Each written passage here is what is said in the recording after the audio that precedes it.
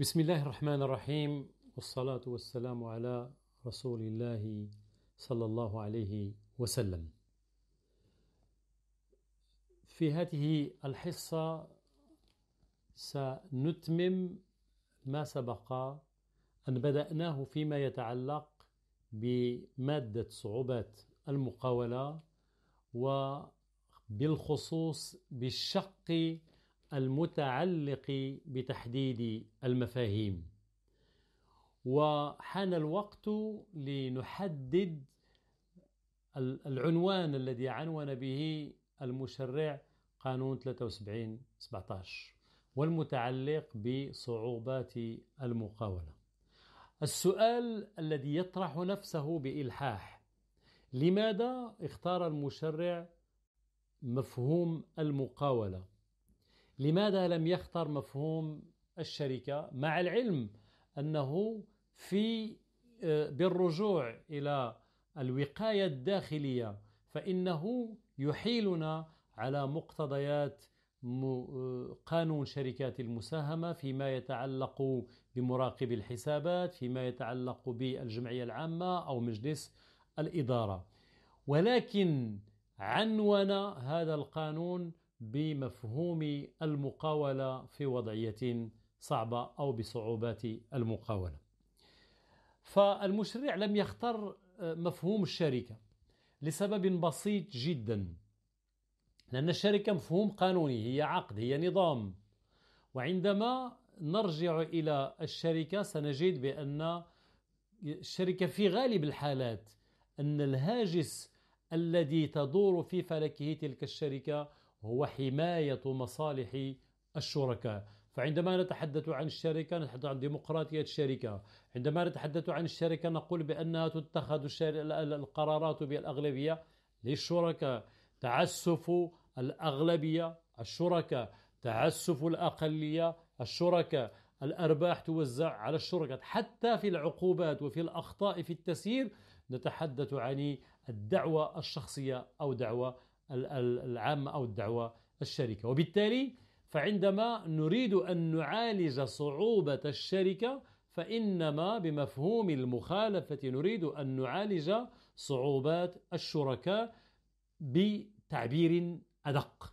لكن الغاية من قانون 73 17 والأهداف التي سطرها المشرع لقانون 73 17 والتي هي الحفاظ على النشاط وعلى استمرار النشاط الحفاظ على مناصب العمل ثم الأداء أو السداد للدائنين. إذا لاحظنا هذا الثلاثي من الأهداف التي أوردها المشرع في قالب النص سنجد بأن مفهوم الشركة لا تتسع أولا لتحقيق هذه الأهداف. فما يهمنا ليس الشركاء ما يهمنا هو الأداء للدائنين الاحتفاظ على النشاط الحفاظ على النشاط. بمعنى أننا نحاول من خلال معالجة صعوبات المقاولة حماية النظام العام الاقتصادي. وهذا النظام الاقتصادي لن تتأتى حمايته إلا بسن قواعد آمرة تفرض بعض المقتضيات القانونية وتفرض بعض التضحيات وتمنح لنا الإمكانية في سن قواعد خاصة قد تتناقض مع القواعد العامة المنظمة للشركات وفي حالة تناقض هذه القواعد قواعد قانون 73 17 مع قانون الشركات فيمكن استبعاد تلك القواعد الخاصة بقانون الشركات وتطبيق القواعد الخاصة بنظام معالجة صعوبات المقاولة. وبالتالي فنحن نتحدث بمفهوم النشاط فالمقاولة هنا مقاولة بمفهوم اقتصادي أو مفهوم النشاط وبالتالي قد نحتاج إلى هذا المفهوم في حالة مثلا اعتماد مخطط الاستمرارية مع آه، تصفية نشاط. وبالتالي هنا سنحتاج إلى تجزئة المقاولة ولا يمكن أن نتحدث عن تجزئة الشركة. سنحتاج إلى هذا المفهوم عندما يتعلق الأمر ب التفويت مع التصفية. تفويت وحدة مع تصفية وحدة غير منتجة. سنحتاج إليه حتى في إطار التصفية القضائية عندما نريد أن نفوت مجموعة كاملة وموحدة لنشاط أو مجموعة مستقلة لنشاط في إطار التصفية القضائية. وستلاحظون بالرجوع إلى النص المنظم لهذه الحالة فإن المشرع المغربي يحيل فيها لمخطط التفويت أي يحيل في إطار التصفية إلى قواعد التسوية القضائية. إذا هنا مفهوم المقاولة هو مفهوم اقتصادي وليس مفهوما قانونيا. وبالتالي فالغايات التي وضعها المشرع لا يمكن أن يستجيب لها المفهوم القانوني بقدر ما يستجيب لها المفهوم الاقتصادي. فالمقاولة بطبيعة الحال لها غاية اقتصادية وهي إنتاج الأموال والخدمات بصفة دورية.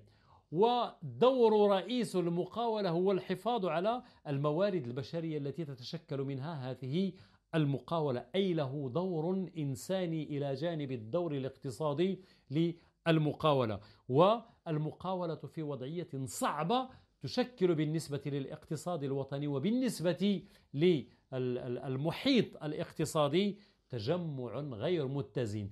إما أنه ستتم تسويته عبر مخطط التسوية أو إما أنه سيتم إقصاؤه إذا كان لا إذا كانت إذا ليست هناك جدوى في استمراره عن طريق التصفية القضائية حماية لعدم انتشار عدوى التوقف عن الدفع ما بين الشركات المرتبطة بالشركة التي هي في وضعية صعبة.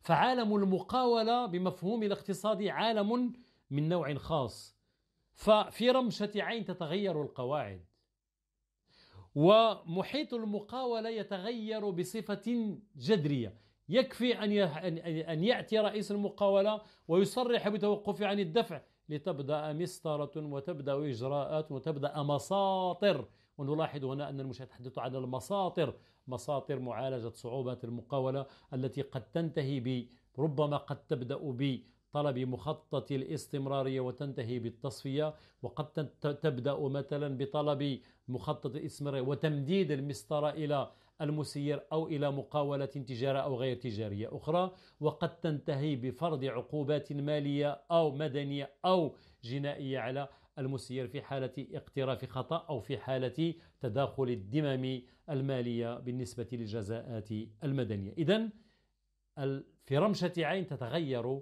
القواعد. وقد يفقد رئيس المقاولة التحكم في التسيير في تسيير مقاولته عندما يتعلق الأمر بالتسوية في حين يحتفظ فيما يتعلق الأمر بمخطط الإنقاذ بتسيير مقاولته. ولكن في التسوية أو التصفية فهناك متدخلون أغيار أو أجانب يتدخلون لاتخاذ القرارات مكانه أو عوضا عنه. وهنا نقصي رئيس المقاولة وكاتم كما تلاحظون هنا الغاية ليست رئيس المقاولة الغاية ليست الشركاء الغاية هي المقاولة بصفة عامة. وبالتالي أمام هذه الوضعية التي تتغير فالمقاولة قد تصبح بين عشية وضحاها سلعة تتداول تتداول تباع وتشترى. لأن مجرد فتح مسطرة المعالجة يعتبر إعلانا لتقديم عروض تفويت المقاولة أو إعلان للبيع وبالتالي بكل كل أغيار أن يتقدموا بعرض لاقتناء المقاولة في وضعية وضعية صعبة. فهاجس المشرع عند وضع قانون 73 17 الذي نسخ وعدل الكتاب الخامس من دونة التجارة. هو كيف يمكن خلق مقاولة أو كيف يمكن خلق حول مقاولة كشفت علنا عن صعوباتها المالية ب أي خلق يعني حولها جميع الوسائل والموارد التي يمكن لها أن تمر عبرها إلى بر الأمان. شريطة عدم المساس بالقواعد أو زعزعة منطق التنافس أو التنافسية وعدم المساس بأمن المعاملات أو الأمن التعاقدي إن صح التعبير فروح نص 73 17 هو جعل. أن نجعل المحكمة مكانة للمواكبة للمواكبة المقاولة في وضعية صعبة عوض أن تكون مجالا للعقاب.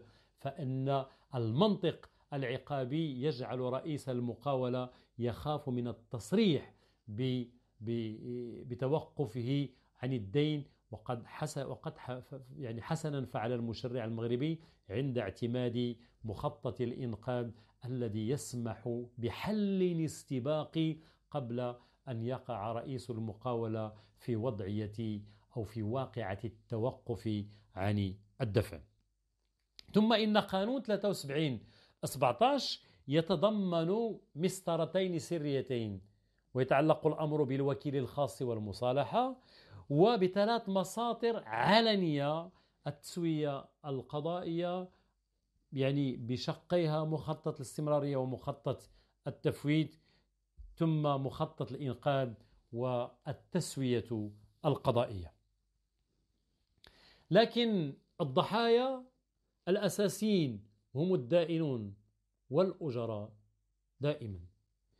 لذلك ركز المشرع جعل الدائنين والأجراء من بين أهداف ال يعني قانون 73 17 ويجب أن تفسر كل النصوص على ضوء الأهداف التي وضع المشرع لهذا القانون. فهم يؤدون الثمن سواء إذا اندثر النشاط أو إذا يعني لم يعد هنالك نشاط وهنا جعل المشرع استمرار النشاط أيضا هدفا من أهداف قانون 73 17 أو بسبب إعادة الهيكلة الفجائية لأن إعادة الهيكلة قد تفرض في وقت وجيز ومن ثم قد يؤدي إعادة الهيكلة مثلا بالنسبة للأجراء إلى الفصل لأسباب اقتصادية أو هيكلية. فإعادة الهيكلة قد يكون لها تأثير على الدائنين تأثير خاصة على الأجراء لأن الفصل هنا سيكون فصلا لأسباب اقتصادية وما يترتب عليه من ضياع حقوق الأجراء. ثم التسوية القضائية تؤدي إلى إعادة هيكلة المقاولة باعتبارها شخص اقتصادي أو باعتبارها وحدة اقتصادية لإنتاج الأموال والخدمات وهذه إعادة الهيكلة تؤدي إلى إعادة هيكلة شخص المقاول وإلى التغيير في الشخصية القانونية لرأس لرئيس المقاولة أو للمقاولة بطبيعة الحال وما يترتب على ذلك كل ذلك من أحكام. هنا نريد أن ننبه إلى أن مصطلح القاضي الذي جاء به قانون 73 17 يجب أن يؤخذ على إطلاقه. ويجب هنا أن نطبق القاعدة الفقهية التي تقول بأن المطلق يجرى على إطلاقه ويشمل رئيس المقاولة والمحكمة والقاضي المنتدب. لن يشمل رئيس المقاولة والمحكمة والقاضي المنتدب. فقانون 73 17 باعتبار أنه يتجه إلى المقاولة فكان لزاما أن ينتقل من قانون مفروض إلى قانون مفاوض عليه. فالحلول أمام المحكمة يتم التفاوض فيها. فعندما نعتمد مخطط الاستمرارية فالسنديك باعتباره جهاز من أجهزة المسطرة يستشير الدائنين وجمعية الدائنين تستشار كذلك ولها أن تقدم بل أكثر من ذلك فلها أن تقدم عروضا. ثم هنا نؤاخذ المشرع المغربي بعدم فرض اللجوء إلى الخبرة عندما يتجاوز رقم معاملات المقاولة يعني يعني مبلغا معينا حتى نحتكم في بعض الحالات إلى آراء الفنيين في هذا المجال. كذلك باعتبار أن الأمر يتعلق بالمقاولة فإن المشرع المغربي قد منح عبر قانون 73-17 فرصة ثانية لرئيس المقاولة الذي يثبت حسن نيته أو يتصف بحسن نيته إما عن طريق مخطط الإنقاذ إما عن طريق إعادة الهيكلة إما آه، آه، آه، عن طريق وقف المتابعات وطرق التنفيذ وكذلك بتفادي تسليط عقوبات مالية أو سالبة للحرية في إطار الجرائم الاقتصادية.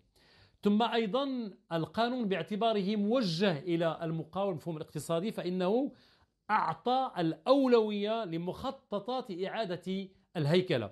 ونسمح هنا نشير هنا على سبيل المثال للحصر بالسماح للدائنين بتقديم مقترح مخطط بتوحيد مساطر اعتماد المخططات من قبل الجمعية جمعية الدائنين والمحكمة. ثم أيضا من خلال إرساء مفهوم اقتصادي للمقاولة عبر مفهوم النشاط في إطار التسوية القضائية إما عبر مخطط الاستمرارية الذي يتم التضحية فيه بنشاط في إطار التصفية أو مخطط التفويت الجزئي الذي يكون مشمولا بالتصفية أيضا. وكذلك من خلال تفويت نشاط كامل ومستقل في إطار التصفية القضائية. أيضا مفهوم الاقتصادي للمقاولة جعل أو دفع بالمشرع من خلال قانون 73-17 باعتماد مبدأ أن وضع حد للنشاط لا يمنع من فتح المسطرة. فقد تفتح المسطرة ولو تم وضع حد للنشاط. قد تفتح المسطرة بعد مدة ولو بعد وفاة رئيس المقاولة. لأن الأمر يتعلق بنظام عام اقتصادي ب بكل حذافره. والدليل على أن الأمر يتعلق بهذا النظام الذي يجب أن نحميه ولو في غياب رئيس المقاولة إما بالوفاة أو بوضع حد لنشاطه فيمكن أن نؤكده من خلال الدور الحيوي الذي تلعبه النيابة العامة في إطار معالجة مساطر معالجة صعوبات المقاولة. فهي مصدر للمعلومة يمكنها طلب فتح المسطرة يمكنها طلب تمديد المسطرة إلى المسير يمكن تملك الحق في ممارسة تملك الحق في ممارسة طرق الطعن. لها الحق في طلب سقوط الأهلية التجارية في مواجهة رئيس المقاولة. لها الحق في استمرار في طلب استمرار نشاط المقاولة في إطار التصفية القضائية طبقا للمادة 652 من قانون 73 17 هنا آه، بعد تحديد هذا المفهوم مفهوم المقاولة وما يترتب عنه جاء آه، الدور لتحديد مفهوم الصعوبة. هنا يجب عدم الخلط ما بين صعوبة المقاولة والمديونية فالمديونية لا تعني شيئا. المديونية ليست صعوبة. المديونية قد يكون قد تكون المقاولة مدينة في هذه السنة ولكن ربما في السنة المقبلة أو في السنوات المقبلة ستحقق أرباحا طائلة. وإنما الصعوبة كما حددها المشرع أوردها في ثلاث أو في أربع درجات. والدرجة الأولى تتعلق بالوقائع التي من شأنها أن تخل باستمرارية النشاط والتي يكون الحل فيها هي الوقاية الداخلية والوقاية الخارجية تبعا أو طبقا للفصول 547 وما يليه من قانون 73 17 وهذه الصعوبة قد تكون إما قانونية أو اقتصادية أو مالية أو اجتماعية. ثم تأتي الصعوبة الثانية هو مرحلة الخوف من الوقوع في التوقف عن الدفع.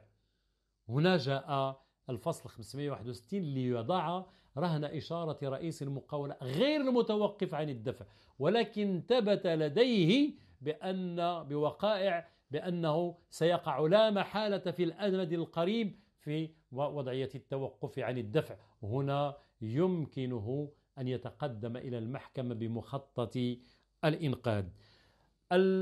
الدرجة الثالثة هي درجة التوقف عن الدفع الواردة في المادة 575 من قانون 73 17 والتي تكون فيها يعني المقاولة ليس بمقدور رئيس المقاولة أن يواجه الخصوم الحالة والمستحقة بأصوله الجاهزة والقابلة للتصرف. إذا اختل التوازن ما بين الخصوم والأصول والأصول هنا نتحدث عن الأصول بمفهومها القانوني وليس بمفهومها المحاسباتي.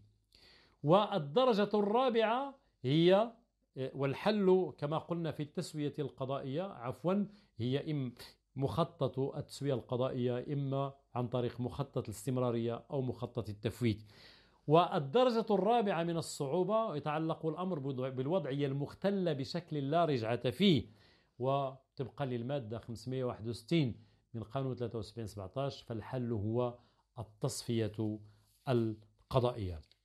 فما هي المستجدات التي جاء بها قانون 73 17 من المستجدات التي جاء بها قانون 73 17 بعجالة إضافة نائب القاضي المنتدب المادة 670 قانون 73 17 إضافة في اختصاص القاضي المنتدب الطلبات والمنازعات الاستعجالية والوقتية والتحفظية والشكاوى ضد السنديك طبقا للمادة 672 الإحالة على نص تنظيمي لتنظيم مهنة السنديك والمؤهلات المطلوبة لمزاولة هذه المهنة. إحداث طبقا للمادة 606 جمعية الدائنين وحدد المقاولات التي يجب عليها أن تحدد أن يعني أن أن يعني أن تمسك هذه الجمعية. كل مقاولة وهي كل المقاولات التي هي ملزمة بتعيين مراقب الحسابات والتي يتجاوز رقم معاملاتها 25 مليون درهم أو التي تشغل على على الأقل 25 أجير خلال السنة السابقة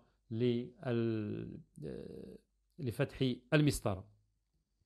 أيضا التغيير تغيير وضع الكفيل الذي كان لا يستفيد من مخطط الاستمرارية أصبح في القانون الجديد يستفيد يعني من خط من مخطط الاستمرارية ورفع الحيف عن الكفيل. ثم مسطرة إعداد قائمة ديون من المستجدات أيضا مسطرة إعداد قائمة ديون الأجراء من قبل السنديك بمساعدة المقاولة بعد أخذ رأي مندوب الأجراء داخل أجل ستة أشهر. أيضا منح النيابة العامة الحق في الطعن في مواطن عدة مثلا فتح مسطرة الإنقاذ أو التسوية القضائية تحويل مسطرة التسوية إلى تصفية تحويل مسطرة الإنقاذ إلى تسوية حصر مخطط حصر المخطط سواء مخطط تسوية أو مخطط تفويض أو مخطط الاستمرارية. مقررات مخطط تفويض. تغيير أهداف ووسائل المخطط. فسخ المخطط. تعيين أو استبدال السنديك ولكن ما لا يقبل الطعن هي هو حكم أو قرار تعيين أو استبدال القاضي المنتدب. وبعد هذا تحديد هذه المواضيع أه، أود أن أعلن لكم عن المواضيع التي أو عن المنهج الذي سنتبعه في دراسة هذه المادة. وسنتطرق في البداية إن شاء الله في الحصص القادمة للمساطر غير القضائية ويتعلق الأمر بالوقاية الداخلية والوقاية الخارجية.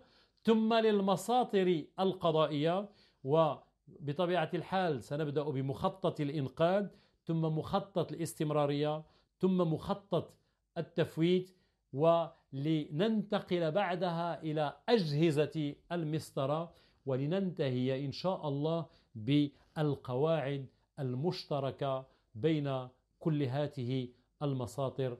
والسلام عليكم ورحمة الله تعالى وبركاته.